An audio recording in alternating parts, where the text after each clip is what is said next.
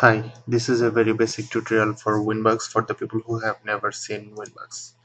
So to install Winbugs, at first we need to download it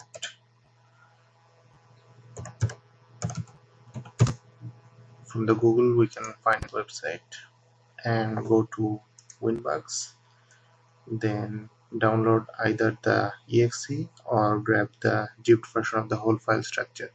I was having some problem installing the exe. So I downloaded the whole zip version and then I unzipped the zip file in this folder C program files Winbugs 14 and then I opened Winbugs but I need a patch. Uh, to get the patch I click here and there there is the whole instruction how to get the patch in Winbugs. So at first I save it in the desktop as a text file. Then in from WinBUGS I open that text file. And then from tools in WinBUGS I select decode and select decode all.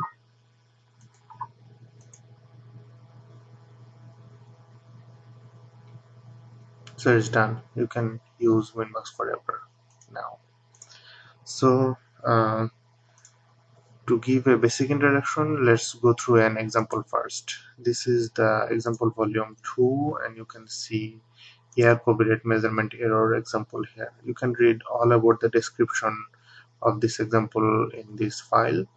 Uh, basically what I'm going to do I'm going to show you how to run the, the this particular example in Winbugs. So from new file I select the model. Then I select the data.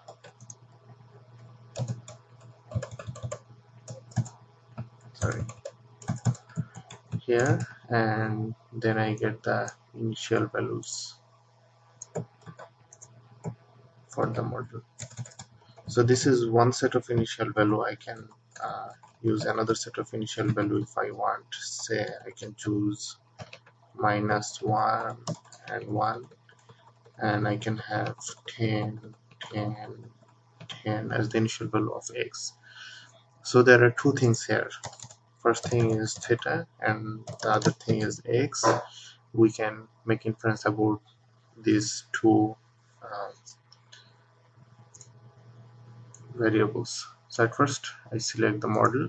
And from model specification I check the model and then I select J, Y, N, Z, tau, alpha, beta as my data and I load it.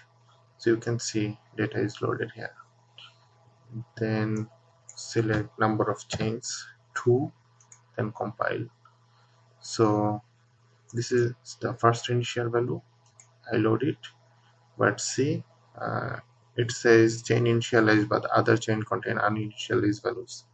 So because there are two chains right? So I select second chains now. Uh, so I have loaded all the data set and the model is initialized as it is uh, saying in the status. So I close it then go to inference and I select samples. So as I mentioned it had theta uh, I set set and then I set X. I again press set to get both of these results simultaneously.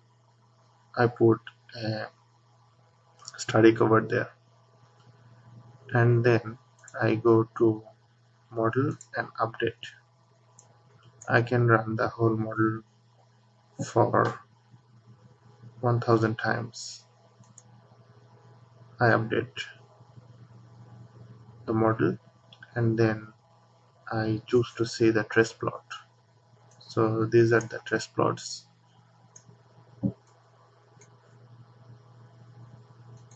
These are the history. These are the densities. These are the statistics that I have selected here 25% median and 90 7.5% I get the quantiles I get the diagnostic plots I get the autocorrelation.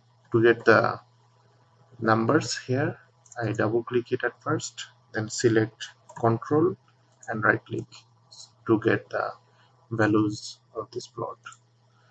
I also can get uh, the numbers so that I can use in CODA package of R. I can get the chain values from here.